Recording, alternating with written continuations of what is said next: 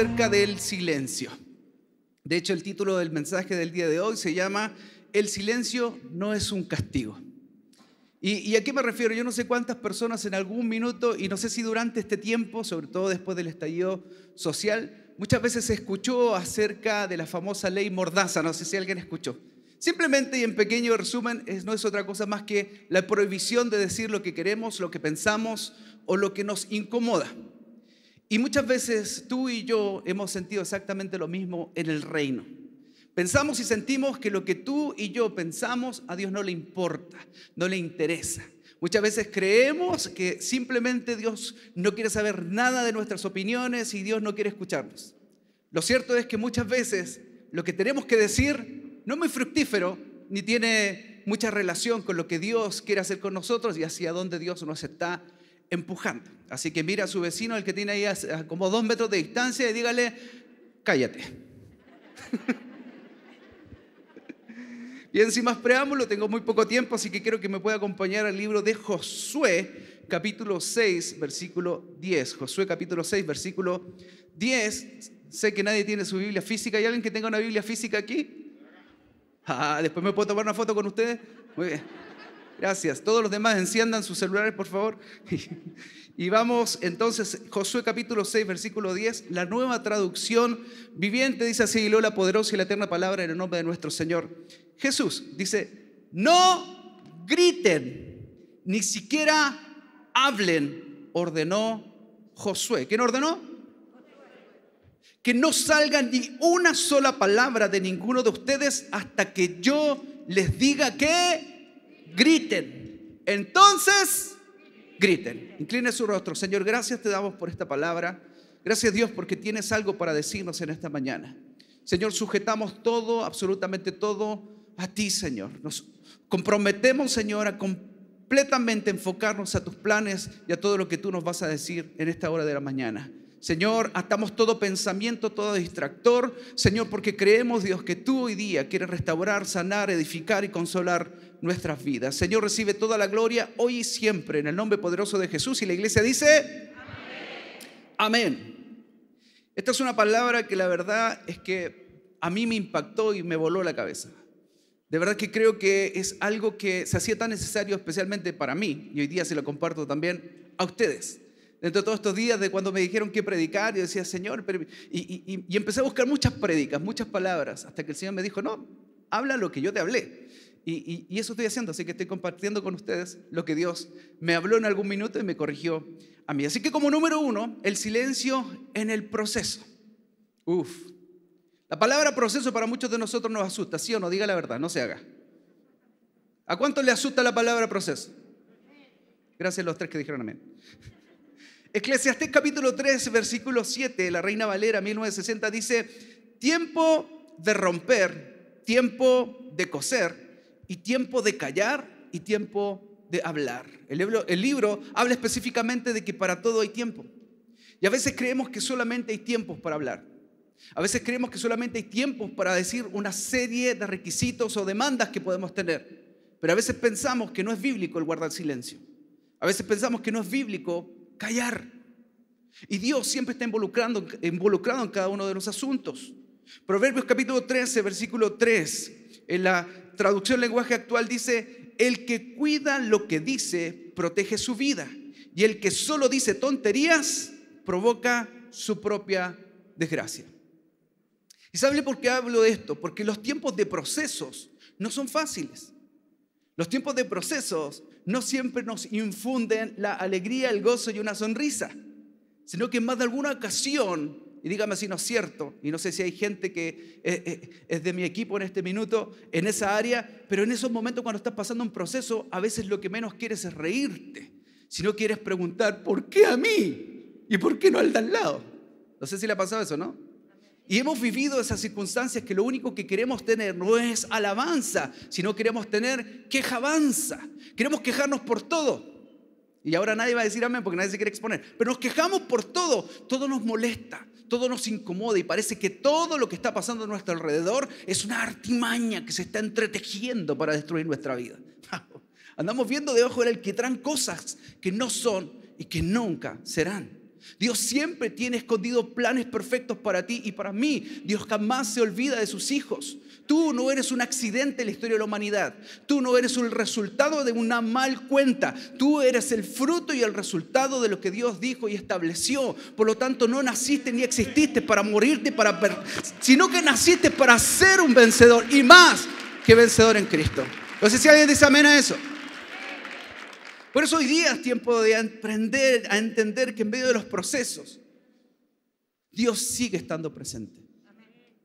Aun cuando recibamos instrucciones claras y específicas, como en este caso es el caso de Josué, que Josué le entrega, le entrega la instrucción al pueblo de decir, cállense, no digan nada, no emitan sonido alguno, ni siquiera una palabra, hasta que yo se los diga. Uf. Pero, pero, ¿cómo, cómo es? O sea, vienen y me imponen cosas, pero si yo estoy en un país libre, ¿dónde está la democracia? Pero ¿cuántos saben que en Cristo existe teocracia? Cristocéntricamente la palabra de Dios siempre está graficando y dirigiendo nuestras vidas hacia donde Él nos está impulsando y hacia donde Él nos está empujando. ¿Saben? Una de las cosas más tremendas que nos ocurre que en medio del proceso, en medio del dolor, en medio de la prueba, en medio del quebranto, muchas veces es tan delicado abrir la boca. Porque muchas veces hablamos desde la herida. ¿Alguien entiende el concepto, no? Y hablamos desde el dolor. Por lo tanto, lo que va a salir de nuestra boca muchas veces va a ser dolor. Muchas veces va a ser quebranto. Y hablar desde la herida no es otra cosa más que contaminar a otros, no es más que simplemente tratar de saltar saliva de nuestra boca llena de resentimiento, llena de dolor por el quebrantamiento que estamos viviendo. Y eso no involucra que es alguien específico que se transformó en tu quebranto porque esa persona quiso. Dios siempre está involucrado en el asunto. Y quizás el quebrantamiento tiene nombre.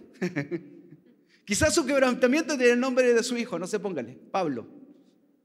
Cualquier coincidencia. Póngales el nombre que usted quiera, el nombre de su jefe, no lo nombre, por favor. Pero muchas veces los quebrantamientos tienen nombre y no significa que nosotros podemos tomar toda nuestra amargura en contra de esa persona. Dios se abastece de quien quiere para procesar tu vida y procesar la mía.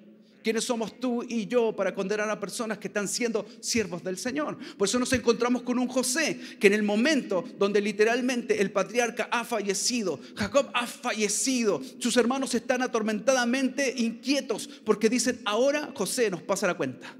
Ahora José nos mata a todos. Sin embargo, José les dice, vosotros pensasteis mal acerca de mí. Pero todo lo que ocurrió fue necesario para dar salvación a nuestro pueblo. ¿Saben quién puede decir eso? No alguien que habla de la pica, de la rabia y de la venganza. Alguien que habla desde la postura de haber sido procesado y haber terminado con éxito el proceso para ser levantado a cosas mayores. Un día usted y yo vamos a tener que agradecerle a muchas personas que fueron parte en nuestros procesos. Porque sin ellos, queridos hermanos y queridos amigos, seguramente a nadie le va a gustar lo que voy a decir, sin ellos no estaríamos donde estamos.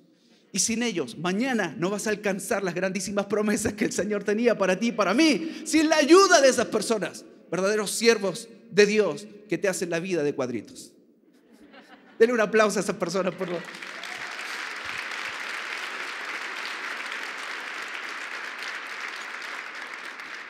Por eso tú y yo necesitamos aprender a entender que el valle de sombra y de muerte se pasa, se cruza.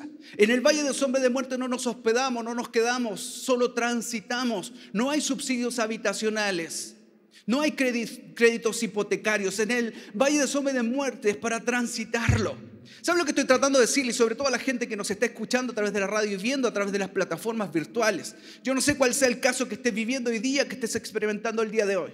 Pero si hay algo que quiero decirte en esta hora, partiendo por este auditorio, de que tú y yo fuimos programados para algo mayor de lo que estamos viviendo hoy día.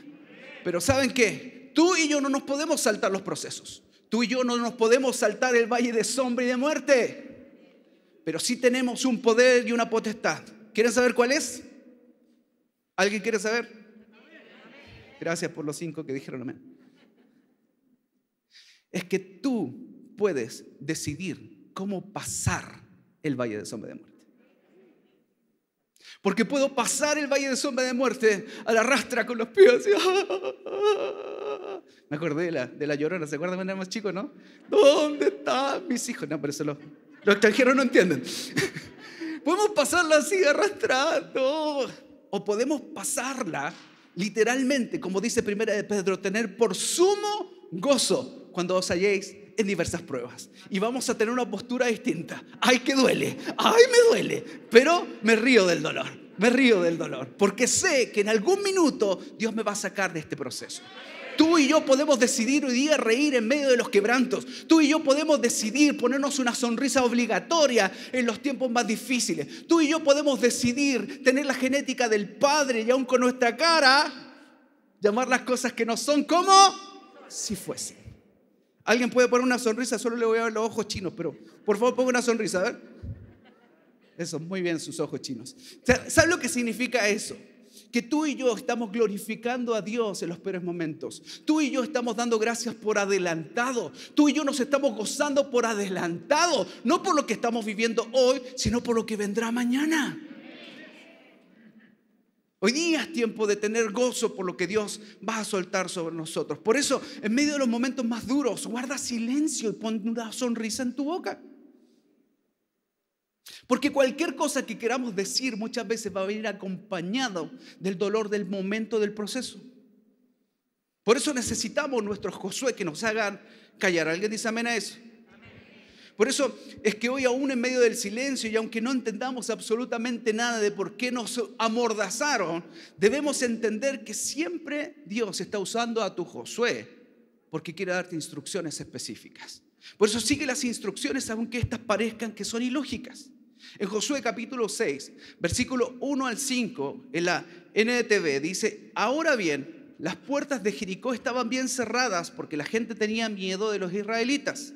A nadie se le permitía entrar ni salir. Pero el Señor le dijo a Josué, dos puntos, te he entregado Jericó a su rey y a todos sus guerreros fuertes. Tú y tus hombres de guerra marcharán alrededor de la ciudad una vez durante seis días, o sea, una vez al día durante seis días. Versículo 4. Siete sacerdotes caminarán delante del arca, cada uno llevará un cuerno de carnero. El séptimo día, diga conmigo séptimo día, marcharán alrededor de la ciudad siete veces. Ya no es solo una vez, sino siete veces, mientras los sacerdotes tocan los cuernos. Cinco, cuando, cuando oigas a los sacerdotes dar el toque prolongado con los cuernos de carnero, haz que todo el pueblo grite lo más fuerte que pueda. Entonces los muros de la ciudad se derrumbarán y el pueblo irá directo a atacar la ciudad. ¿Saben cómo se llaman estas cosas? Instrucciones. Muchas veces queremos cuestionar ciertos métodos o ciertas cláusulas del contrato porque aún no hemos logrado ver el spoiler de la película final.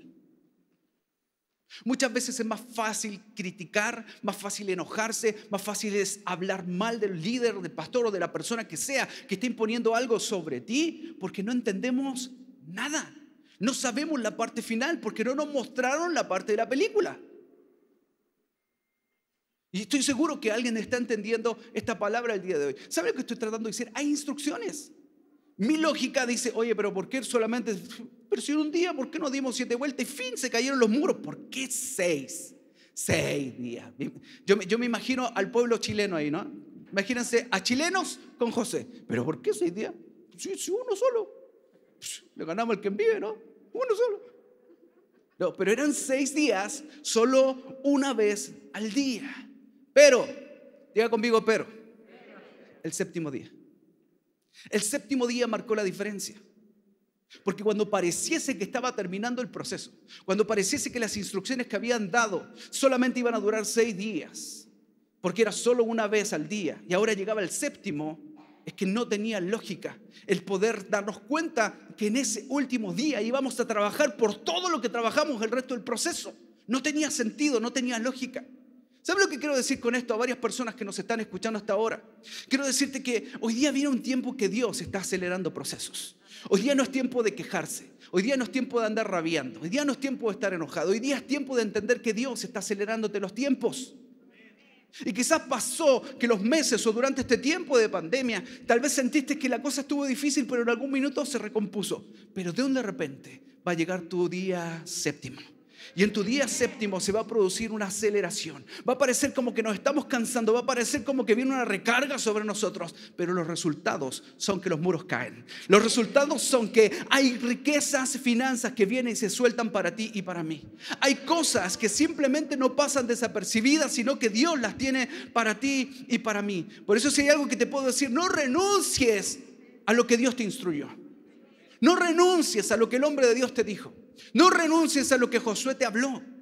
Deja de reclamar y suelta de una vez por todas a tu Josué de tu corazón. Tu bronca no es con él, es lo que él escuchó de Dios. Hoy día es tiempo de avanzar.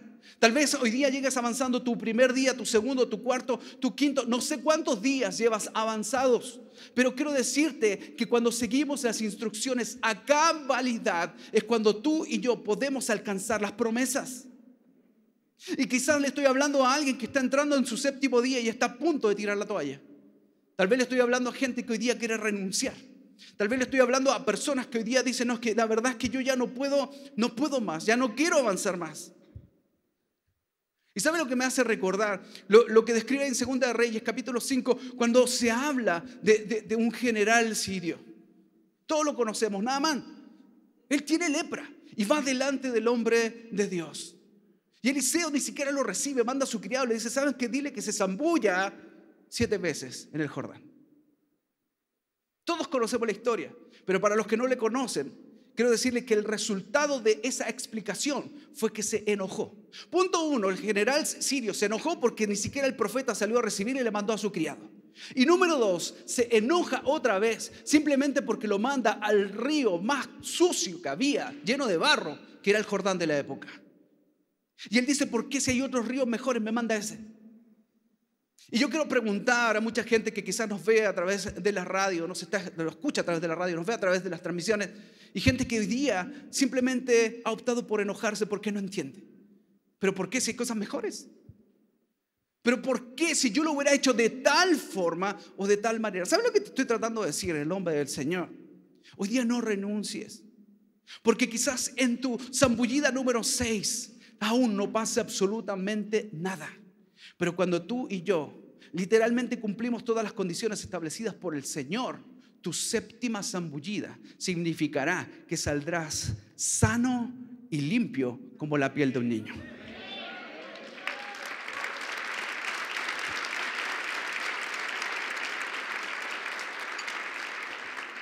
Me quedan muy pocos minutos pero solo quiero decirte que hay gente que está cansada tal vez. Y hay gente que hoy día ya no quiere más. Y hay gente que dice, no, sí, yo sé que me dijeron siete. Sí sé, estoy consciente que me dijeron siete. Pero no puedo siete, no aguanto. ¿Cómo no se dan cuenta el sistema y bla, bla? Pero ¿saben lo que dice el libro de Gálatas? Capítulo 6, versículo 9. La Reina Valera establece, dice, no nos cansemos pues de hacer, de hacer, porque a su tiempo segaremos si no desmayamos. No desmayes, no te canses. Yo sé, es legítimo estar cansado. Es más, es legítimo estar enojado. Es legítimo. Pero la Biblia dijo, airaos, pero no pequéis. No se ponga el sol sobre tu enojo. Enójate, pero un poquito. Enójate, pero ponle plazo. Enójate, pero en ese momento cállate. Que el perrito y el gatito no paguen las consecuencias de tu enojo y del mío sino que hoy día podamos ser personas centradas en lo que Dios está estableciendo sobre nuestras vidas. Por eso se cumple la promesa. Josué capítulo 6, versículo 15 y 16 dice, y el séptimo día los israelitas se levantaron al amanecer y marcharon alrededor de la ciudad como lo habían hecho los días anteriores, pero esta vez dieron siete vueltas alrededor de la ciudad. Mira el versículo 16. En la séptima vuelta, mientras los sacerdotes daban el toque prolongado con los cuernos, Josué les ordenó a los israelitas Griten. ¿Qué fue? Porque el Señor les ha entregado la ciudad. Mire el versículo 20. Entonces los sacerdotes tocaron las trompetas y la gente gritó a voz en cuello, ante lo cual las murallas de Jericó se derrumbaron y el pueblo avanzó sin ceder ni un centímetro y tomó la ciudad. Las promesas solo se alcanzan cuando nosotros cumplimos lo que prometimos. Nos llenamos la boca de hablar de grandísimas promesas, pero lo que yo prometí lo cumplo. Ah, ah. Hay cosas que necesitamos nosotros, aprender a ser gente de palabra y cumplir lo que Dios ha puesto en nuestra vida. Por eso es solamente animarle a muchas personas y decirle, no te detengas, sino que continúa avanzando aunque debas hacerlo en silencio, sin las posibilidades aún de decir palabra alguna, pero llegará el momento en que tú, Josué, te va a decir, ahora habla. Y en ese momento van a haber efectos que van a producir cambios trascendentales en todo lo que te rodea. ¿Sabe lo que quiero decir? Y con esto termino, quiero invitar al equipo de alabanza que por favor suba. Quiero decirte que hoy día no eres otra persona más que la gran reserva que espera en silencio lo que Dios ha manifestado en tu vida. Hay cosas que Dios ha guardado para ti y Dios quiere usarte y levantarte. ¿Sabes lo que quiero decir con esto? Dios en este minuto a mucha gente la tiene verdaderamente escondida.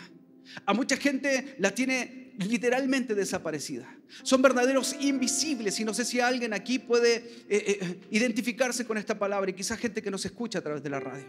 Pero quiero decirte que nosotros que somos un país vinícola, que somos Chile, un país vinícola y de vino de exportación, quiero decirte que el proceso para que un vino llegue a transformarse en tal no es otra cosa que pasar por los procesos. Los procesos de antaño no era otra cosa más que pisotear la uva. Los procesos de hoy día se machacan y muchos procesos más que sigue viviendo para transformarla en primera instancia simplemente en un jugo de uva. Y luego de eso, ser envasadas y ser eh, eh, literalmente guardadas. ¿Y saben qué? Muchas veces hasta por años. ¿Saben lo que estoy tratando de decir? Sean alojadas aún en medio de la oscuridad, guardadas en maderas y, y, puede transcurrir mucho tiempo en medio de la soledad. Y parece que fue olvidado y parece que nadie se acuerda de ese vino. Pero ¿saben qué? En medio del secreto y en medio del silencio, ese jugo de uva experimenta una metamorfosis. Y en medio de la fermentación, que si hablamos en términos nuestros, no es otra cosa más que la maduración, entonces ese jugo de uva se va a transformar en el mejor de los vinos. Y ese vino va a ser diseñado para ser exportado. El vino no fue guardado simplemente para el olvido y luego ser quebrado y ser vaciado. Fue reservado en la gran reserva y hoy día te hablo de ti, hablo de tu familia, hablo de tus hijos. Quiero decirte, ha sido reservado la gran reserva del reino de los cielos. Ha sido guardado en la cava del Padre Celestial para en algún momento y en su tiempo ser manifestado para cosas mayores, para lugares exclusivos, únicos en su especie. Eres alguien que fue diseñado, tú y tus hijos, alguien que fue diseñado para ser una gran reserva de exportación. Lo que Dios ha puesto en ti es más grande de lo que imaginas. Los procesos fueron duros, los procesos fueron difíciles, pero Dios, Dios hará grandes cosas contigo. Alguien dice amén. Dale más fuerte los aplausos al Señor.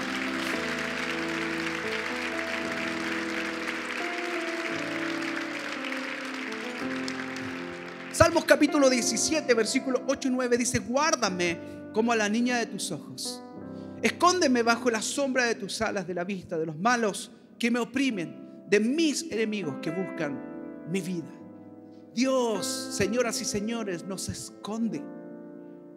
Hemos atribuido demasiadas cosas al diablo. Y es Dios que nos guarda. Es Dios que nos deja en el anonimato. No son las personas, no es que ya nadie me llama. Es que ahora en pandemia como que la gente perdió mi número.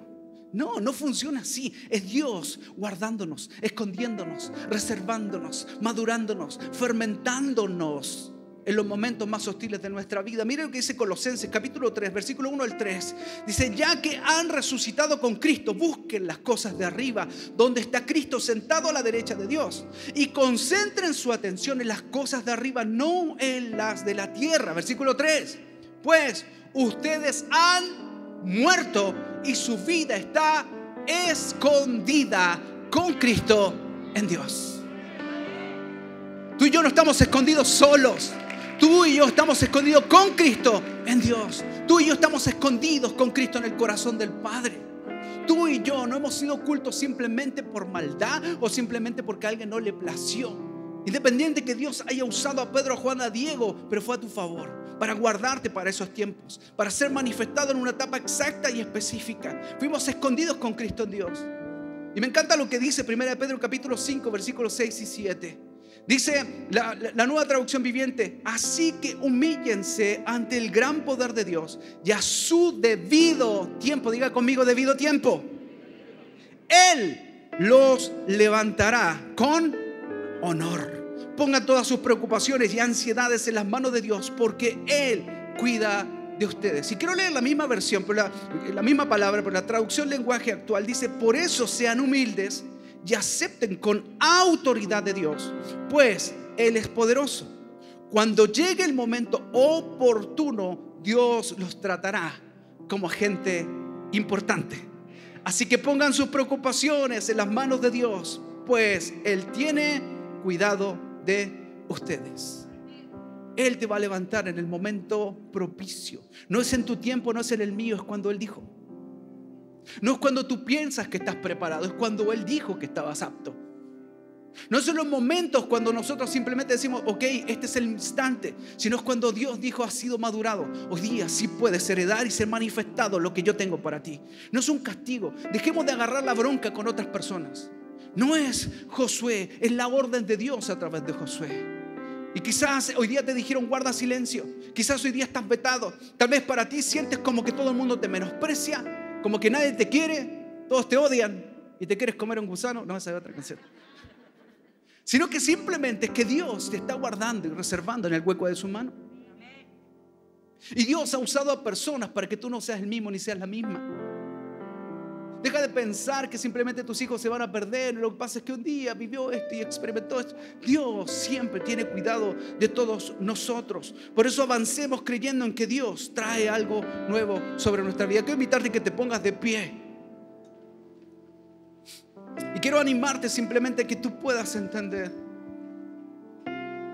lo que Dios trae para nuestra vida. Segunda de Corintios capítulo 4, versículo 17, conocidas por todos, dice que esta leve tribulación momentánea produce en nosotros un cada vez más excelente y eterno peso de gloria. Y sin lugar a dudas, durante estos años y este tiempo, tú no eres el mismo, no eres la misma.